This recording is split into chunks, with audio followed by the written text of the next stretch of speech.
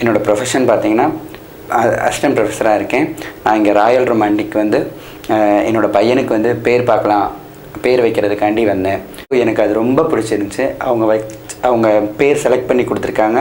But இப்போ நான் அதை வந்து என் வீட்டில் ஃபேமிலி என் ஃபேமிலிஸ்லேயோ என் நெய்பர்ஸ்கிட்டயோ அதை டிஸ்கஸ் பண்ணி தென் அதில் எந்த பேர் பெஸ்ட்டாக இருக்குன்ற பார்த்து ஸோ இவங்கக்கிட்ட அதை கன்சல்ட் பண்ணி அதை என் பையனுக்கு வைக்கலாம் அப்படின்றேன். பட் இப்போ நான் இப் ஒன்ஸு தான் நான் பேரே வைக்க போகிறேன் ஸோ அந்த பேருமே வந்து அழகாக வைக்கலாம் அப்படின்றதுக்காண்டி இங்கே வந்து கேட்க வந்திருக்கேன். எனக்கு ரொம்ப திருப்தியாக இருக்குது